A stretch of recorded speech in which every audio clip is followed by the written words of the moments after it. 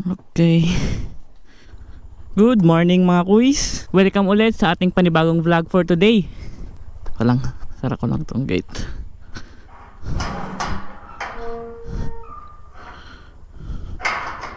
So, bali ngayon mga kuis ay magra-ride tayo papunta ng Buskalan kay Apo Wangod.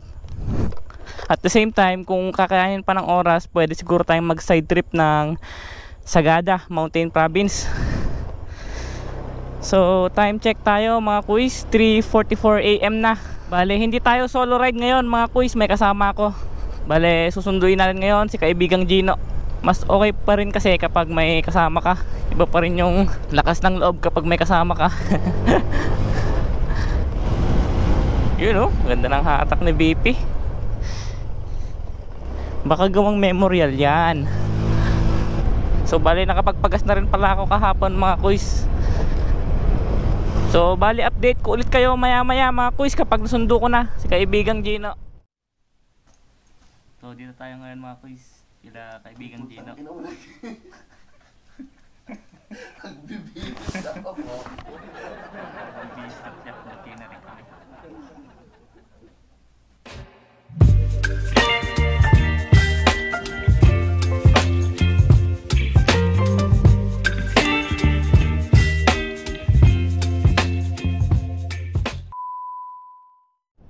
So, bale proceed na tayo sa biyahe mga kuys. 4.20 am na.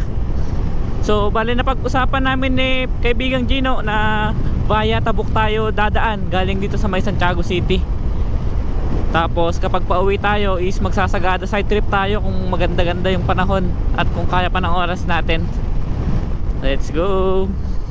Oopsie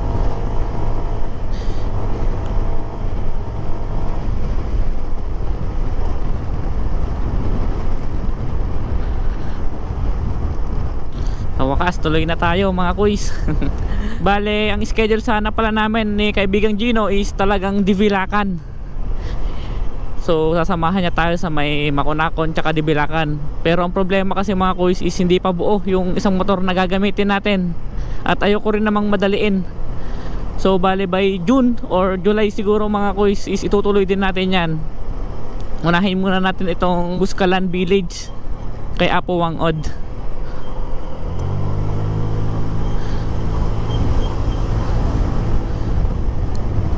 Bale, na lang din naman ang kulang ng isang motor na gagamitin natin mga kuys. Tsaka tapaludo.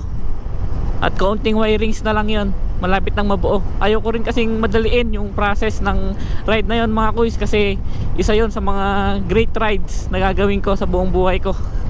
May mga maladaanan tayong deadly trails. Walang mga gas station. Mahirap magka-problema doon sa ride na yon sa may dibilakan Kaya pag-ahandaan natin yun na mabuti update ko lang kayo mga kuys Part of San Manuel. Isabela na tayo. Medyo pasikat na yung araw. Lumiliwanag na. 5.08 am na.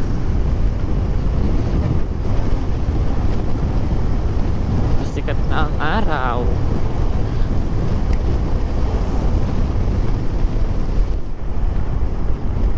Good morning Rojas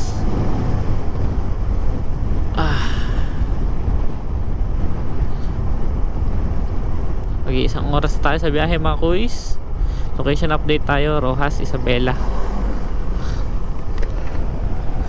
Liwanag na.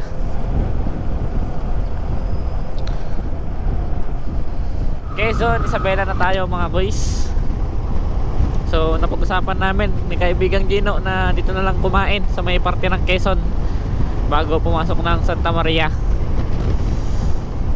Tataka ako ba't kaya ang bilis maloobat ng GoPro ko. Bagay yung nakasalpak kasi dito yung telesin battery lang. Iba, iba pa rin talaga ang GoPro battery na rig wala pa atang 30 minutes yung recording natin eh. Anyways lima naman yung baon nating battery ngayon mga koys tatlong telesin battery na ganito kabilis maloobat tsaka dalawang urig Mm, amoy anihan. Basta dito sa parte dito ng Quezon, amoy ani amoy anihan.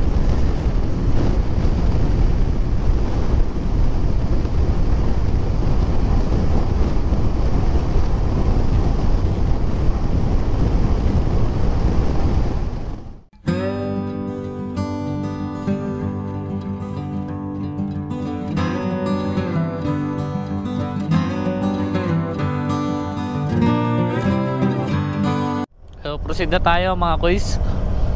Tapos nang tapos na kaming kumain. So, based sa Google Map mga kuys, ay may lilikuan na pala tayong kanto dito sa may parte ng Quezon. So, yan no. Hindi na natin kailangan magpunta ng Santa Maria. Bale, tinanong namin sa may pinagkainan namin is maayos din naman daw daan dito. So, bale, mayroon pa tayong tatakbuhing 110 kilometers mga kuys. 3 hours and 4 minutes based sa Google Map. Yan siguro yung mga bundok na akatin natin mamaya mga kuys. Yan siguro tayo dadaan.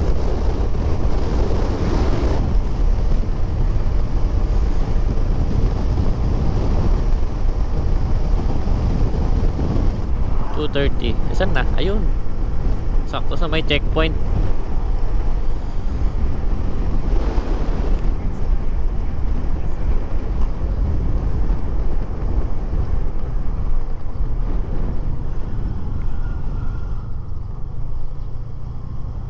Mula dito mga kuys, ito yung unang beses na dadaan ako dito. Nakikita ko na yung bundok. Rekta na to sa bundok. Ayun oh. What a nice view.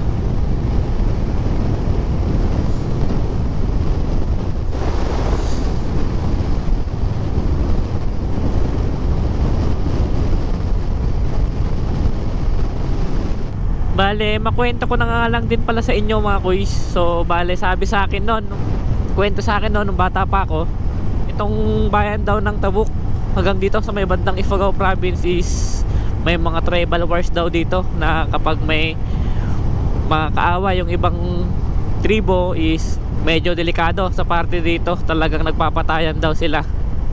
Welcome to Tabuk City naman agad to. Oo province of Kalinga lumnok kayo. Lumnok. Oh malapit ah. Lumap malapit lang pala pre. Tabok na agad. Welcome to Kalinga.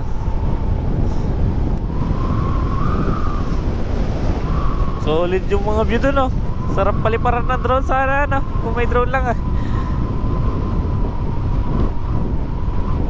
napakalapit lang pala ng Kalinga province oh. Solid oh. Kabundukan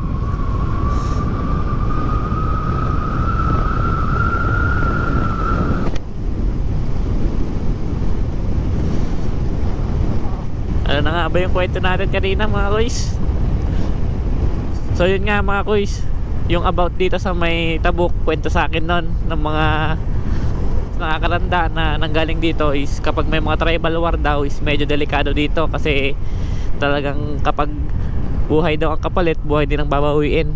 Ewan ko kung totoo yun. Yun naman yung kwento-kwento mga kuys tapos kapag nakasagasa ka daw ng manok tipong ganun. Pati yung mga itlog magiging anak ng manok babayaran mo daw hanggang sa kaapu-apuhan. Yun yung kwento sa akin mga kuys ewan ko lang kung totoo at nag exist pa rin yun hanggang ngayon pero siguro naman eh hindi na. Bali yung pupuntahan pala natin mga kuys is may konting background din. So isa sa mga kaibigan namin ni kaibigang Gino is nagpunta dito nun. Sa kasamang palad mga kuys umuwi siyang bangkay na. So bali ang dumating sa akin kwento mga kuys is kwan daw. Uh, Nag-rides daw sila. Madami sila, grupo sila nagpunta dito sa may Buskalan Tapos ang nangyari naginuman daw yata sila tapos may nag-aya daw sa kanyang bumili ng something na inumin, parang ganun. Hanggang nakauwi na yung mga kasama niya, siya hindi pa rin nakakauwi. Tapos nakita na lang siya na nasa bangin, bugbog daw yung muka. Pero hindi ko alam kung disgrasya ba yung nangyari. Parang ganun yata yung lumabas na lang sa report na disgrasya daw siya. Nakita sa bangin, tapos yung motor niya daw parang walang galos. Parang ganun yung kwento sa akin eh ng isa sa mga kaibigan din namin college friend namin yon ni kaibigang Gino talagang tropa rin namin yon nun eh sana naman makarating kami ng safe kaibigang Gino Yan na. Lumirik na araw.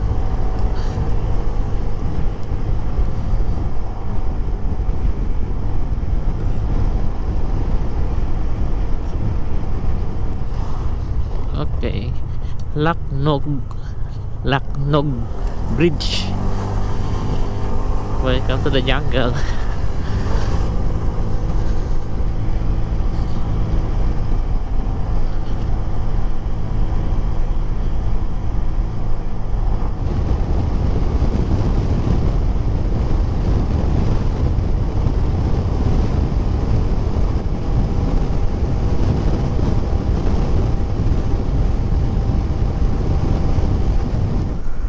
Sa may junction is Bulanaw, Tabuk proper, kakaliwa. Rizal to Gigaraw kanan. Kaya kakaliwa tayo.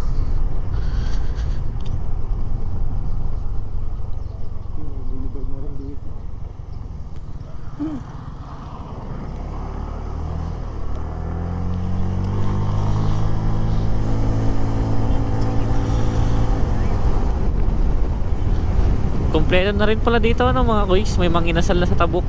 May Jollibee. May mga tarpaulin ng mga inasal oh. Oh.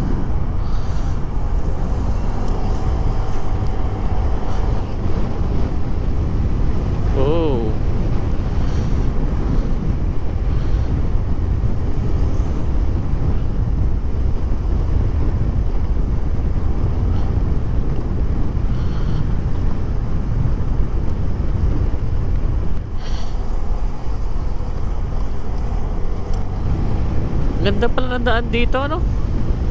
Six lanes.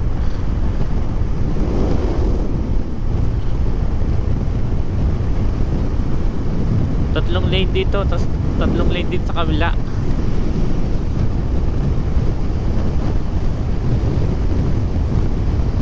So, ang nakalagay sa Google Map mga kuys is diretso lang tayo. Dadaanan natin yung circle. So, Paracelis.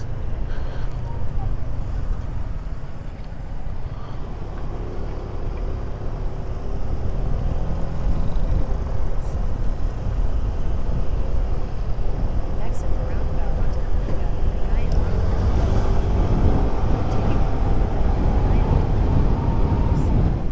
Solid ah.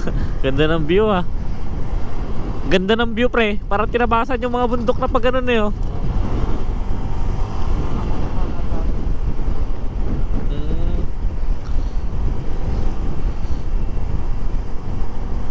May nakikita kong gas station.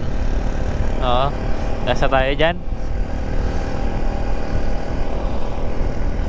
Okay. Baka maabot sila rin tayo pag ganun eh. Oo. Paikot eh. Magbag na tayo no. Mapaga nga tayo ng ikot eh. Parang malapit na nga eh. Tansya ko lang. Di ba napaaga tayo? Pwede natin ikutin na kagad eh. Pasagada.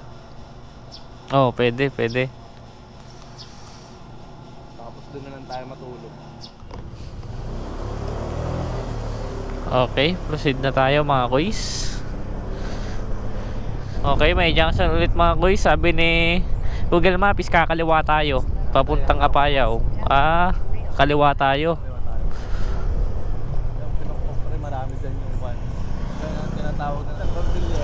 Ah, bakit bakit tinawag na Visayas ng Cordillera yun pre? Yung pinokpok. Ah, madaming mga ganda. May mga part na basa yung daan dito mga kuys. Sa tingin ko umulan kanina. Natsambahan lang nating tapos na yung ulan. Woohoo! Medyo malamig-lamig dito. Medyo malamig yung klima dito.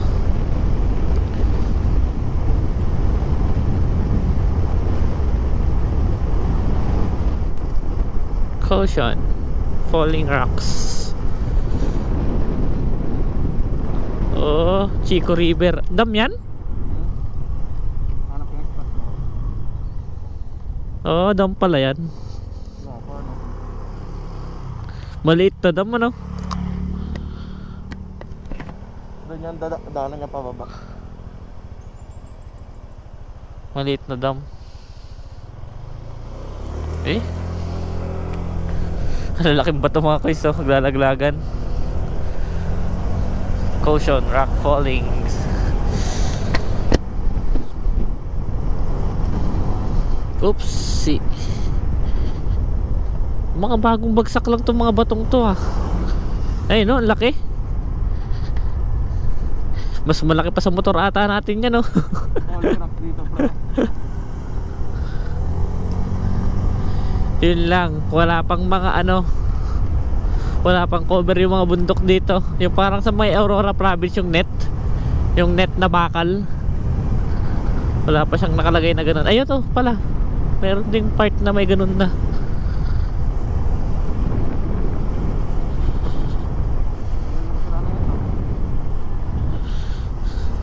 Nakaka-amaze din talaga mapunta sa ibang lugar Lalo na pagbago sa mata. Nakaka-enjoy. Kahit sa simpleng daan lang na to. Yung feeling ng excitement mga kuys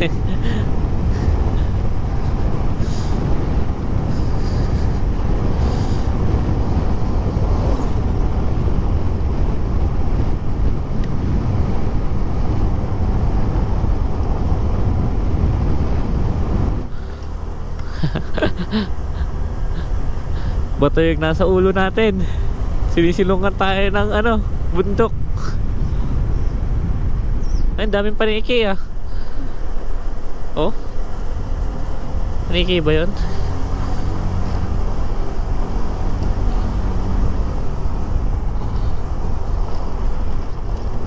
Oops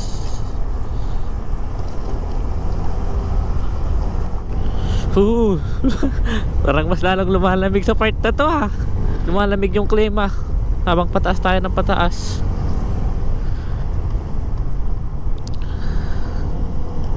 Parang Parang tinok ifagaw yung datingan ng daan dito mga kuys.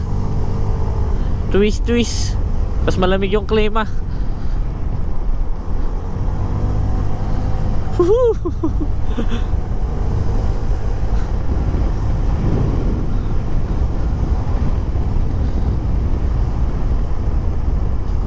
Yun no? What a nice view.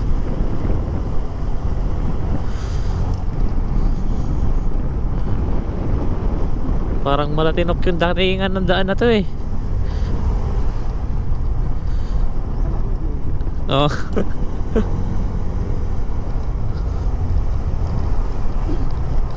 Sa may tinok pre talagang malamig doon? Tinok. Solid din yung lamig doon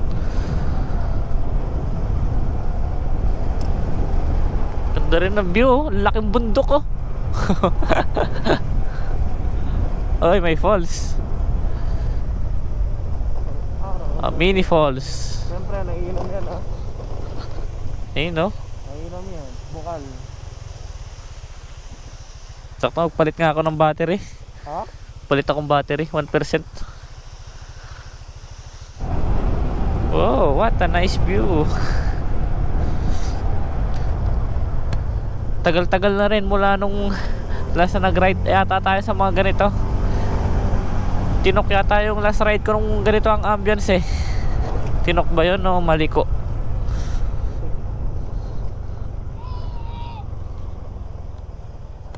Okay. May isa memplang ata. Oopsie. Oh, madulas talaga. Madulas talaga yan. Tulak-tulak na. Oo. Medyo may kaunting rough road pala mga koys.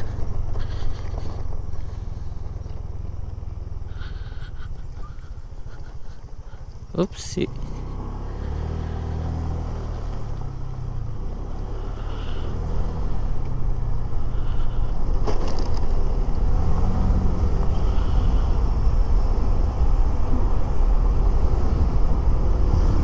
Batong bundok na naman sigurado. Madami na namang nagtibagan na bato dito. Ayun oh. Ah ito pala yung tunnel. Patiking tunnel. Ayun oh. Patiking tunnel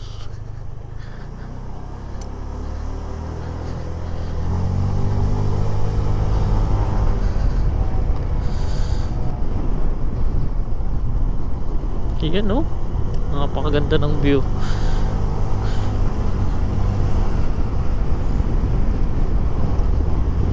Sulit.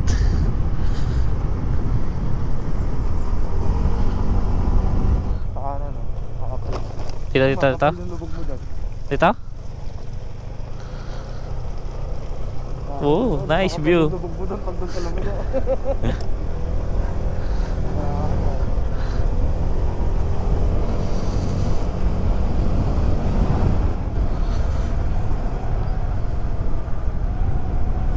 Ooh.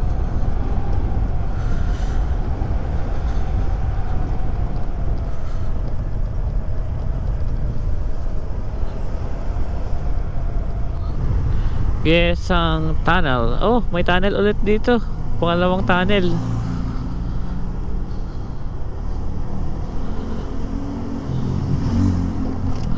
Nako.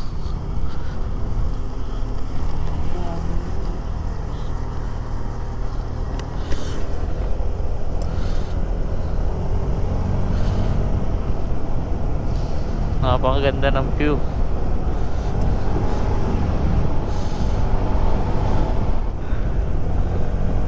Sulit.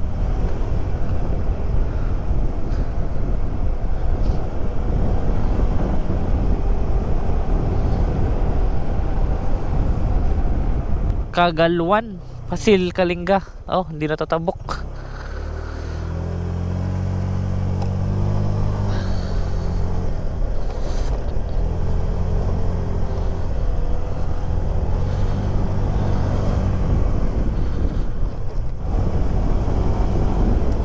tatabok. Nakaka-relax din talaga mag-ride sa mga kabundukan. Kapag sinabing unwind, hindi ibig sabihin nun dagat agad. Pwedeng bundok.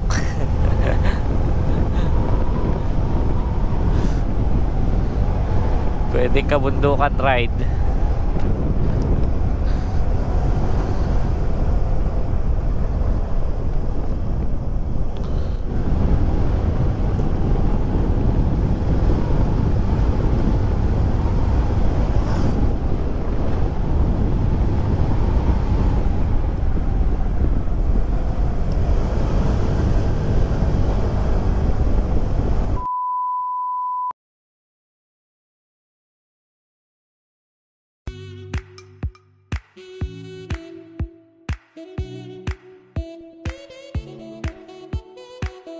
Bandang stem lang.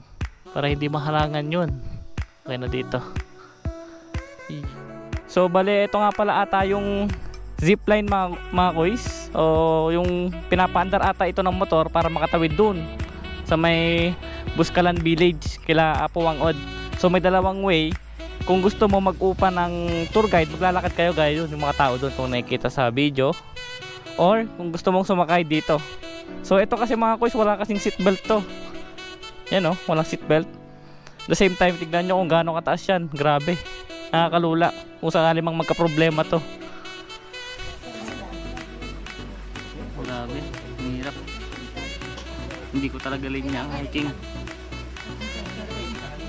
Ang bigat pa ng bag. Dapat pala mga kuys, hanggat posible, eh, wala kayong dalang bagpack. Malit lang na bag. Pagkasad nyo na yung mga gamit nyo doon. May plano pa kasi ako dun.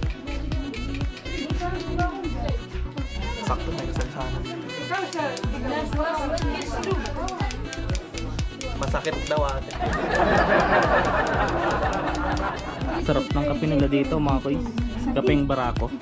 Yan o, anli. Anli kape. Sarap. Sa design na eh. Pangalawang tasa ko na to. Mga dalawang